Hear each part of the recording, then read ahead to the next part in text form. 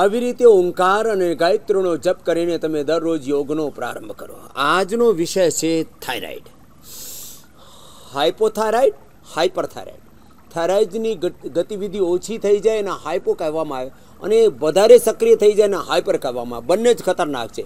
હાઇપોથી વજન વધે અને હાઇપરથી વજન ઘટે અને એને કારણે પછી ઘણી બધી ચક્કર આવે, આંખો બહાર નીકળી જાય હાર્મોનલ ઇમ્બેલેન્સ થાય હાર્ટ ઉપર એનો અસર આવે અને આખી જિંદગીનું સંતુલન બગડી જાય છે. ચક્કર હોય ગુસ્સો આવે, નીંદ ઓછી આવે અને બધું ડાયજેશન ઉપર અસર થાય. અને આ થાઇરોઇડને તમે કંટ્રોલ જ નહીં ક્યોર કરી શકો છો. એના લાઈવ એક્ઝામ્પલ સાથે આપણે શરૂઆત કરીએ. આમાં બે તો મૂળ પ્રાણાયામ છે. એક તો કપાલભાતી, બીજો ઊંચાઈ અને ત્રીજું છે અનુલોમ વિલોમ કપાલભાતી અને ઉજ્જાઈથી ટી થ્રી, ટી ફોર્સનો સંતુલન થાય અને અનુલોમ વિલોમથી ટીએસએસનો તો કપાલભાતી ઉજ્જાઈ, આ બહુ જ જરૂરી છે. સાથે અનુલોમ વિલોમ. આ કરી કરીને જેને શરૂઆત કરીએ જેનેટિક. ઘણા બધા તો એવા છે, અહીંયા જે એની દવા જ નથી લીધી. અંજલિ છે, અનિતા છે, એની એ એલોપેથીની દવા જ નહીં લીધી. એ ફક્ત ફક્ત આયુર્વેદનો આ ધણિયાનો ઉકાળો પછી ત્રિકુટા અને બહેડાનો ચૂર્ણ સ- નાનકડા નાનકડા ઉપાયો કપાલભાતી ઉજ્જાઈ વધારે કરી કરીને આ મટાડી દીધા પણ જેનેટિક મટી જાય અને બંને બેન અમારી મહારાષ્ટ્રથી જ છે હા, છાયા બંને એક छाया कहाँ से आई है मुंबई से कहाँ कहाँ से आई हो नागपुर और दूसरी छाया जालना जालना और मुंबई से अ, नागपुर से हैं। हाँ कब से था तुमको? कपाल भाती करो। माइक पास में रखो। मेरे को बीस साल से हम्म हम्म, बीस वर्ष से। और अब कितने दिन में ठीक कर लिया? मैं मेरे पाँच साल हुए गोली बंद हो गई सर। कोई दवाई नहीं है। और अब थायराइड नॉर्मल है? Thyroid normal. थायराइड से क्या क्या कॉम्प्लिकेशंस थे? मैं चलती थी तो मेरा सब बैलेंस किधर भी चली जाता था और बाल चले गए थे। और ऐसे डॉक्टर लोग ऐसे का ये रखते थे तो ऐसा ऐसा हिल- कांपते थे? हाँ ऐसे ऐसे उंगलियां सब कांपती थी तो थायराइड है ना थायराइड ने લીધે કોમ્પ્લિકેશન્સ આ બંધ થઈ ગયા और किससे आया आपको ये थायराइड माता पिता से वो माता पिता में नहीं- हमारे रिश्तेदार में था माता पिता को नहीं था हाँ तो रिश्तेदारी में था तो कहाँ से आया नाना नानी दादा दादी किसी किसी को तो है हाँ। अब पहले तो चेक ही नहीं करवाते थे लेकिन परिवार में कईयों को है हाँ? चलो अगली को देना दूसरी छाया। ओम साईराम स्वामी जी साई राम जी। मैं नागपुर महाराष्ट्र से आई हूँ छाया शेंडे। मुझे आठ साल से थायराइड था और मैंने तीन साल पच्चीस एम जी की पचास एम जी की दवाई ली थी वो थायरोक्सिन। और उसके बाद मैंने फिर अम, उज्जैन प्राणायाम चालू कर दिया। उसके बाद मैंने फिर जब चेक किया तो फिर एकदम से नॉर्मल आ गया कितने दिन में नॉर्मल आया? वो पता नहीं लेकिन मैंने दवाई चालू रखी थी और फिर मैंने बंद कर दी थी। यानी एक महीने के बाद शायद। एक ही महीना लगा हाँ मैं इक्कीस इक्कीस इक्कीस इक्कीस बार करती थी मैं तीन अ, अ, दिन में तीन बार हाँ, करती थी सवारे बपोरे सांझे त्रण स- हाँ। टाइम समय होता है माताओं को तीन समय कर लिया इसने उपजाई और एक महीने में ठीक कर लिया और मुझे प्रॉब्लम सिर्फ घुटन से महसूस होती थी हाँ और किससे आया था आपको ये माता से માતા છે જેનેટિકલી हाँ આ તો જેનેટિકના બે એક્ઝામ્પલ છે ત્રીજી જ્યોતિ છે એને પણ જ્યોતિ પ્રજ્વલિત થઈ ગઈ છે યોગ થકી હા ओम स्वामी जी ओम बेटा। मुझे दस साल पहले थायराइड डायग्नोस हुआ था हम्म। तो तीन साल तक मैंने कंटिन्यू लिया थायरोक्सिन पहले 25 एम था फिर डॉक्टर ने उसको इंक्रीज करके 50 एम किया और बोला एक दिन भी मिस नहीं करना या या तो फिर लाइफ पे खतरा आ जाएगा या हाँ। आँखें बाहर आ जाएगी या तो फिर गले में सूजन आ जाएगा. आँखें बाहर आ जाएँगी गले में सूजन आ जाएगी हार्ट पर असर आएगा। हार्ट पर असर है मुझे हार्ट भी हार्ट बीट भी पल्पिटेशन ज़्यादा होता था। हम्म, तो फिर अ, मुझे खा खा कर सारा कैल्शियम ड्रेन हो गया पूरे बॉडी में। ऐसे लग रहा था हड्डी कट गई है और फिर अच्छा, ज्वाइन मतलब कैल्शियम ड्रेन होना शुरू हो गया हाँ। उसको कॉम्प्लिकेशंस कॉम्प्लिकेशंस तो नज़र भी ब्लर होने लगी तो मैंने आपका योगा स्टार्ट किया और एकदम ही नया बॉटल खोला ही नहीं कि मुझे खाना ही नहीं है अब से। तीन साल तक कंटिन्यू खा के पूरी हालत ख़राब हो गई। और अभी भी उसके कॉम्प्लिकेशन है लेकिन थायराइड नहीं है मुझे पाँच साल साढ़े चार से साल से ज़्यादा हो गया है पाँच साल होने आए हैं कि मुझे बिल्कुल भी थायराइड नहीं है मैं हमेशा चेक कराती रहती हूँ। अभी आते वक्त भी चेक कराया हुआ है। मुझे बिल्कुल भी थायराइड नहीं है पूरा नॉर्मल रेंज में है। नॉर्मल रेंज में और हाँ। कुछ हड्डियाँ मज़बूत की? हाँ अभी मैंने सप्लीमेंट लिया था दो महीना पहले डी थ्री कंटिन्यू लेती रहती हूँ साल में दो तीन और धूप में बैठा कर सुबह। और मुझे इन्वॉलेंट्री मूवमेंट्स और फेशियल एक्सप्रेशंस के अभी प्रॉब्लम है। उसके कॉम्प्लिकेशंस अभी अभी उससे निकल ही रही हूँ मैं। तीन साल खाने से तीन साल खाने से कॉम्प्लिकेशन सब तक है। इसलिए मैं हाँ। कहता हूँ पर टेम्परेरी रिलीफ हाँ। और नुकसान परमानेंट परमानेंट तो इनवॉलेंट्री मूवमेंट को ठीक करने के लिए योगराम आया इतने दूर से। ठीक हो जाएगा बहन ना अंजल ज्योति? हाँ। कितनी उम्र है तुम्हारी? Thirty five. थर्टी फाइव छोटी सी उम्र में और हुआ कब था थायराइड? ट्वेंटी फाइव पे ट्वेंटी फाइव। हाँ। हाँ। तो ये दस साल पहले से एक चक्रव्यूह में फंस गई अब निकल हाँ, गई है चल। बहुत परेशान और अभी भी हूँ पर थायराइड नहीं है। हाँ। तो अब दो तीन बहनें तो ऐसी हैं अंजलि और अनीता इनको देते हैं। इन्होंने एलोपैथी ली ही नहीं कि भाई आपने कोई चक्कर में नहीं पड़ना उनको देना। अंजलि को। अंजलि और अनीता एलोपैथी नहीं दवा प्रारंभ ज नहीं करी हाँ? चलो। स्वामी जी ओम नमन स्वामी जी मुझे आठ साल पहले थायराइड हुआ था जो कि पहले आठ था उसके बाद धीरे धीरे ग्यारह पर पहुँच गया। डॉक्टर ने मुझे बोला एलोपैथिक मेडिसिन लेना बहुत ज़रूरी है। हम्म, उन्होंने मुझे लिख कर दी। मैंने एक दिन एक टैबलेट खाई पर मेरा मन नहीं माना। फिर मैंने धनिए का पानी शुरू कर दिया। हम्म, लगातार धनिए का पानी पीती थी फिर डॉक्टर ने बोला लगातार धनिए का पानी पीना भी नुकसानदायक है। अच्छा। तो मैंने पहले एक महीने पिया एक हफ़्ते के लिए छोड़ा फिर एक महीने पिया फिर एक हफ़्ते के लिए छोड़ा। इस तरह से एक साल में मेरा थायराइड पूरी तरह से ठीक हो गया। हम्म, तो धनिया का अब उस समय थायरोग्रिट आई नहीं थी। तो पहले धनिया का पानी बताते थे और त्रिकुटा और बहेड़ा बताते थे काचना और गूगल बताते थे। उसकी जगह भी ये थायरोग्रिट निकाल दिया अभी जो। त्रिकुटा और ये आपने बताया ये भी हमारे यहाँ इजीली अवेलेबल नहीं होती है मार्केट में। तो उस टाइम धनिया का पानी ही ऑप्शन था। तो धनिया का पानी पी करके ठीक कर लिया। अब कितने साल हो गए? मुझे आठ साल हो गए थे। अब सात साल से बिल्कुल खत्म है। सात साल से पूरी तरह से खत्म है। खाली धनिया का पानी पिया फिर उज्जाई करती रही ना उज्जाई और कपाल भाती। कपाल भाती और अनुलोम विलोम करती थी मैं। बस उज्जाई भी नहीं किया इसने तो का मुझे पता ही नहीं था उस टाइम तो अब एलोपैथी की दवा इसने कहा कि लोगे तो कुछ और जैसे ये ज्योति उसका परिणाम भुगत के बैठी है। कॉम्प्लिकेशंस का डर था कि एलोपैथिक का कॉम्प्लिकेशन होता है। पक्का तो आयुर्वेद की तरफ़ जाना ज़्यादा ठीक है। तो इसने अंजलि ने शुरू से ही अपनी अंजलि आयुर्वेद से भर ली। और अनीता अनीता का देना। थायराइड की एलोपैथ मैं कहता हूँ पहली कोशिश ये करो कि तुम्हें दवा लेनी ही नहीं पड़े। और 99 परसेंट आप ऐसा कर सकते हो। और इन्होंने तो ये थायराइड का तो एकदम डरा देते हैं कि एक दिन भी नहीं छोड़ना। हाँ। मैंने, मुझे फ़र्स्ट जनवरी को पता चला था थायराइड का।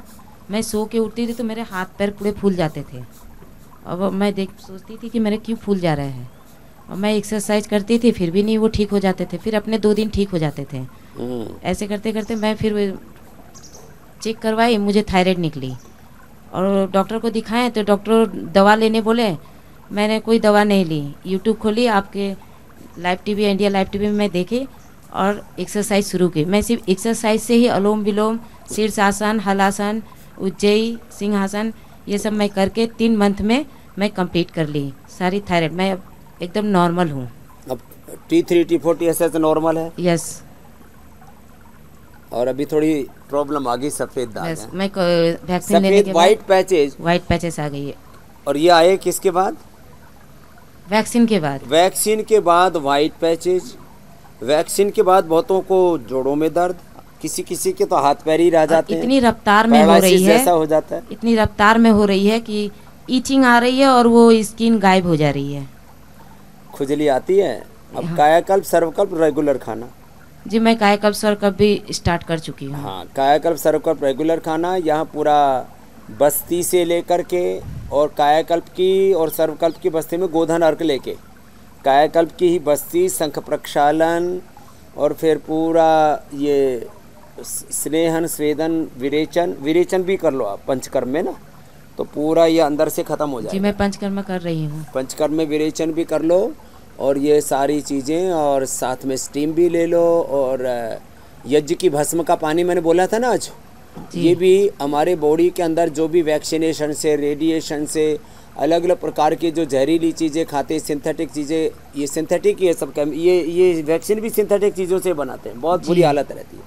तो इनका बॉडी को डिटॉक्स करने में यज्ञ की भस्म का पानी ये छोटी छोटी चीज़ें हैं। और नमक आदि टोटली बंद करके नमक और मीठा आदि तली हुई चीज़ें नेचुरल फ़ूड के ऊपर आ जाओ। तो मैं घर घर पे ही नीम का लेप बनाकर उसमें कायकल तेल गोमूत्र डालकर मैं लेप लगाकर धूप में बैठती थी। तो अभी कहाँ कहाँ आया है? मुँह पर और? पूरे मुँह पे और ये पैर पे। तो पैर पे यहाँ तक आ गए? हाँ। तो ये चार पाँच तो बड़े कॉम्प्लिकेशंस आ रहे हैं। जिनको टाइप वन डायबिटीज़ है, उनको हमने एक बार ठीक कर दिया, जिनकी फिर वापस उनका जो है इंसुलिन शुरू हो गया। टाइप वन वालों के लिए, जिनको बहुत ज़्यादा अस्थमा उनके लिए, जिनको बहुत ज़्यादा आर्थराइटिस आ रही फैक्टर हमने एकदम नेगेटिव कर दिया था, वापस वो आर्थराइटिस में जकड़ में आ गया। किसी को तो फाइब्रोमाइल्जिया किसी को जोड़ों में दर्द, किसी को ये शरीर में कंपन और किसी को तो हाथ पैर रह ही गए। जो है पैरालिसिस जैसा हो गया नर्वस सिस्टम की प्रॉब्लम आ गई। ये किसी को सफ़ेद दाग। ये तो पूरे दुनिया के अंदर सर्वे नहीं करवाने दे रही है कंपनियां और सरकारें भी डरी हुई हैं इसलिए बोले जो लोग डर जाएंगे इसलिए इस कॉम्प्लिकेशंस के बारे में बात ही मत करो जो भी होंगे तो झेल लेंगे लोग अपने आप तो ये तो कुछ लाइव एग्जाम्पल्स हमने दिए कि कपालभाति उज्जाई और ये अनुलोम विलोम ये तीन तो प्राणायाम જરૂરી છે આ ત્રણ પ્રાણાયામ બહુ જ જરૂરી છે એની સાથે સાથે પાંચ આસનો. પાંચ આસનોમાં એક તો સિંહાસન છે, ચલો. હા સબ કરો. આ સિંહાસન બહુ જ જરૂરી છે. પછી આ તો થાયરોગ્રીટ અને પછી ગળામાં ગાંઠ થઈ જાય તો સિસ્ટોગ્રીટ અને કાચન કર્ક્યુમેન ગોલ્ડ, કે આ ધણિયાનું પાણી, આ બધું પ્રયોગ કરી શકાય છે. પણ આ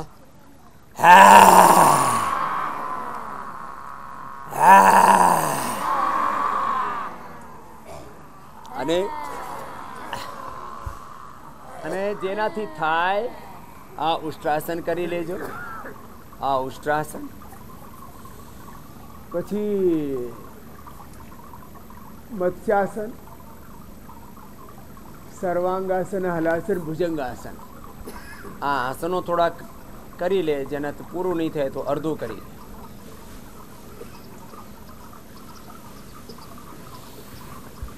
આ ઉષ્ટ્રાસન, અર્ધ ઉષ્ટ્રાસન. અને જેનાથી થાય એ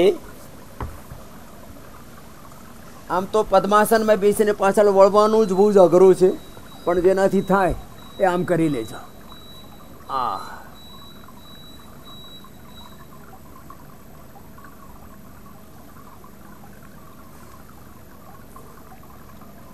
અને પછી થાઇરોઇડ માટે સર્વાંગાસન હલાસન. અને જેનાથી સર્વાંગાસન હલાસન નહીં થાય, કપાલભાતી ઉજ્જાઈ જ વધારે કરી લેજો, અનુલોમ વિલોમ કરી લેજો. કપાલભાતીથી થાઇરોઇડ પેરાથાઇરોઇડ અનુલોમ વિલોમથી પીચ્યુટરી ગ્લેન્ડ સારું થાય. ટી થ્રી, ટી ફોર સારું થઈ જાય, કપાલભાતી ઉજ્જાઈથી, અને ટીએસએસ સારું થઈ જાય છે, અનુલોમ વિલોમથી. તો આ સર્વાંગાસન, આ હલાસન એક એક આસન. આવી રીતે પાંચ પાંચ મિનિટ કરવાનું. અને સાથે આ નારિયેળના લાડુ ખાતા હોય ને, આ જે ગોળમાં, શક્કરમાં કે ખાંડમાં નારિયેળના લાડુ બનાવ્યા છે અમે.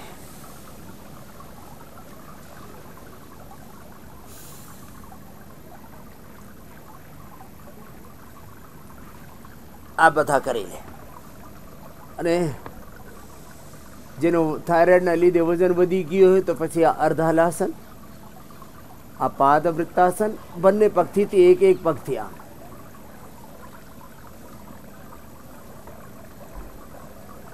અર્ધલાસન પાદ વૃત્તાસન દ્વિચક્રિકાસન આ વધારે કરી લેજો પચાસ પચાસ સો સો વાર કરી લેજો આવી રીતે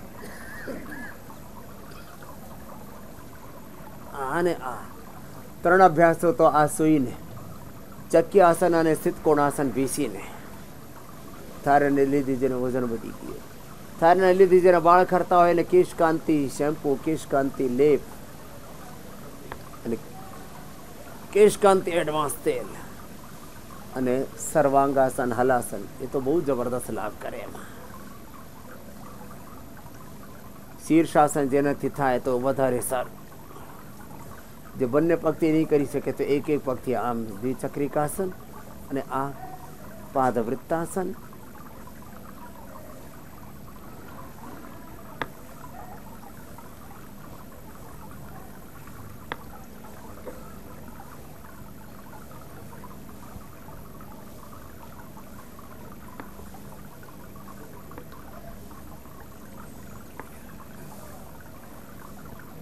જેને જેટલું થાય એક એક પગથી, બંને પગથી. અર્ધલાસન, પાદવૃત્તાસન, દ્વિચક્રિકાસન, અને જેનાથી થઈ જાય એ બધા ભુજંગાસન પણ કરી લેજો. એનાથી થાઇરોઇડ પણ સારું થાય, વજન પણ ઉતરે ને સ્ટ્રક્ચરલ બેલેન્સ થાય એનાથી.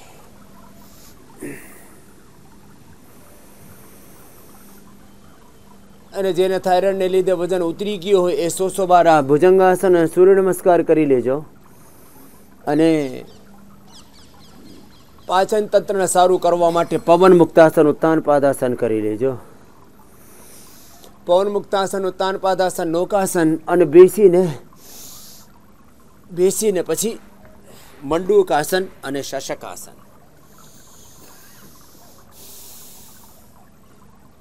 એનાથી પાચન તંત્ર સારું થાય તો જેને વજન ઉતરી ગયું હોય એ વધશે એનાથી.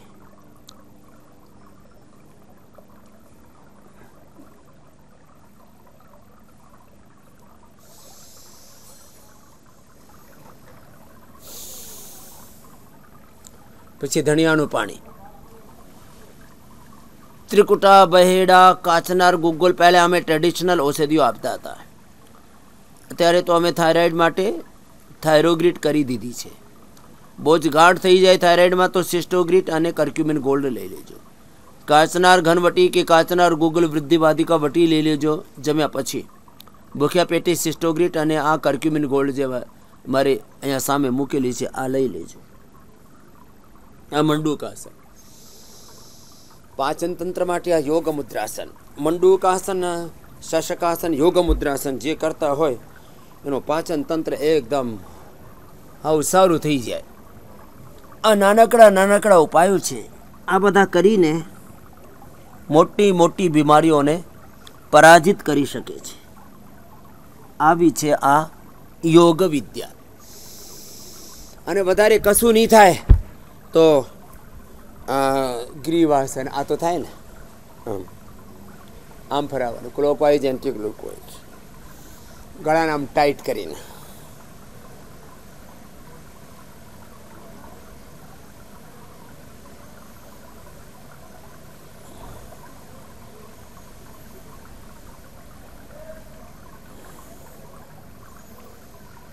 આ થયું.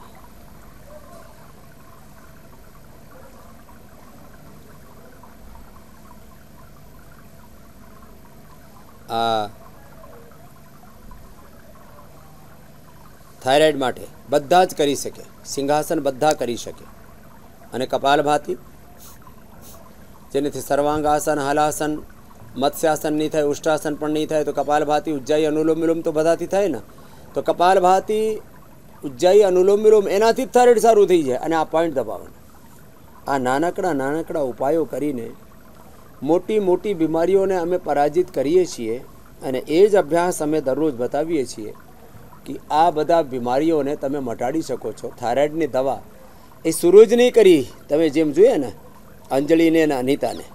અને ઘણા બધાને જેનેટિકલી હતું એ મટાડી દીધું. અને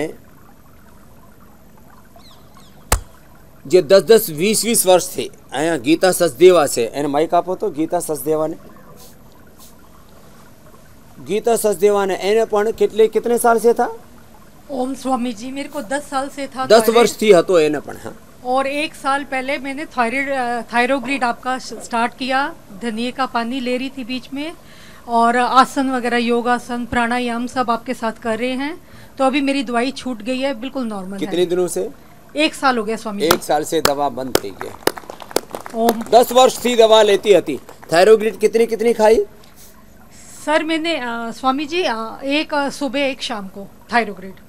थायरोग्रेड एक एक या दो दो हम बोलते हैं तो इसने तो एक एक से गुजारा एक, एक कर लिया। हाँ दिन में दो। बस और उज्जाई कितनी बार करती थी? उज्जाई स्वामी जी मैं दिन में दो तीन बार कर लेती थी ग्यारह ग्यारह बार। हाँ। और सुबह शाम प्राणायाम और एक्सरसाइज एक घंटा डेढ़ घंटा जैसे मिलता था हाँ। टाइम तो थायराइड अब ठीक कर लिया। दस वर्ष थी हतु लोग हम के थायराइड ने एक बार टिकड़ी चालू थाय। તો એ તો हंड्रेड एलोपैथी मैंने ली थायरक्सिन તો હંડ્રેડ था हाँ जी क्या बात है तो हाई डोज थी हाँ ग्यारह था मेरा स्टार्टिंग में ना तो हंड्रेड फिर फिफ्टी कर दिया था उन्होंने તો આ तो अभी बिल्कुल नॉर्मल है अभी थायराइड मैं कोई नी मेडिसिन दवा। नहीं ले रही લોકો ખાતા હોય તો આ થાઇરોઇડ એના બદલે આ કપાલભાતી ઉજ્જાઈ અનુલોમ વિલોમ કરી લો ધણિયાનું પાણી પી લો આ ધણિયાનું પાણી અને આ થાઇરોગ્રીટ આ જ લઈ લો ને ગીતાની જેમ થાઇરોઇડની દવા બંધ થાય બીપીની દવા બંધ થાય શુગરની દવા બંધ થાય સ્ટીરોઇડ બંધ થાય બધે ઊંઘની દવા નીંદરની દવા સ્લીપિંગ પિલ્સ લોકો લેતા હોય પછી પેઇન કિલર્સ એન્ટીબાયોટિક્સ આ બધા ગેસ એસિડિટીની દવા આ બધા ખાઈ ખાઈને આખા શરીરને બગાડી નાખે એના બદલ તમે આ યોગ કરશો અને યોગમાં વધારે કશું નહીં થાય તો આ સૂક્ષ્મ વ્યાયામ ચલો આ સૂક્ષ્મ વ્યાયામ અને પ્રાણાયામ, આ એનાથી જ નાઇન્ટી નાઇન પર્સન્ટ તમને બેનિફિટ થઈ જાય. આસન નહીં થાય તોય વાંધો નહીં. ફક્ત સૂક્ષ્મ વ્યાયામ કરો.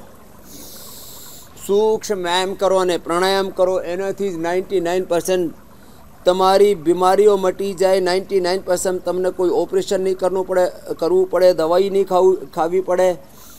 ફક્ત આ યોગથી આટલું મોટું લાભ થાય છે. જીવનનો નિર્માણ અને જીવનનો નિર્માણ. મોક્ષ. રોગ મુક્તિ નશા મુક્તિ વ્યસન મુક્તિ બધા જ બંધનોથી, ક્લેશોથી, વાસનાઓથી મુક્તિ. મુક્તિ એટલે છૂટવાનો. યોગ કરો તો જે બુરી વસ્તુઓ છે, બુરી વાતો છે, દુર્વિચાર, દુર્ભાવનો, દુર્ગુણ, દોષ દુર્બલતાઓ છે રોગ મુક્ત થાઓ જ તમે, થાઓ. એ રોગ મુક્ત થવા સાથે સાથે બધા જ વિકારોથી તમે મુક્ત થઈ જાઓ. તો આ સૂક્ષ્મ એમ કરજો.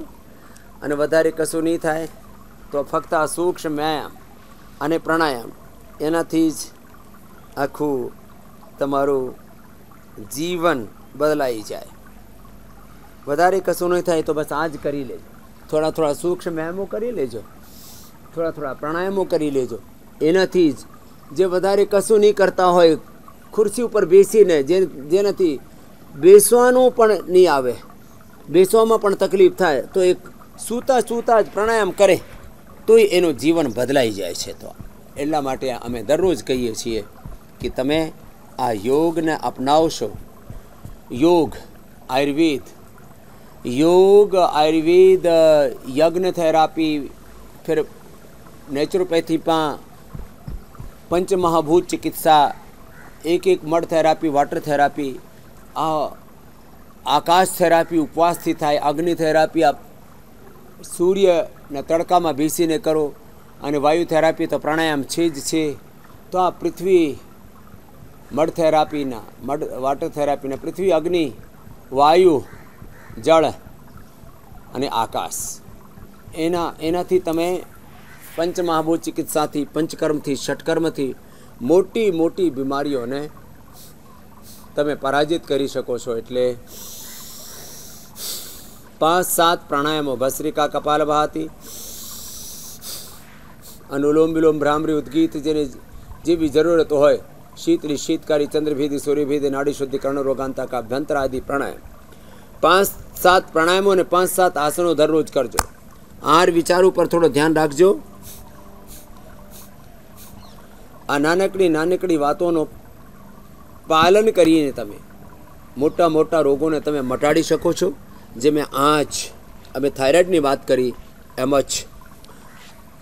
દરેક રોજ અમે નવા નવા રોગોની વાત કરીએ છીએ અને યોગથી કેવી રીતે રોગ મટે છે એના લાઈવ એક્ઝામ્પલ સાથે અમે એબીપી અસ્મિતા ઉપર દરરોજ યોગ ભગાવે રોગ આ કાર્યક્રમ કરીએ છીએ, જેનાથી બધા જ આપ રોગ મુક્ત થાવ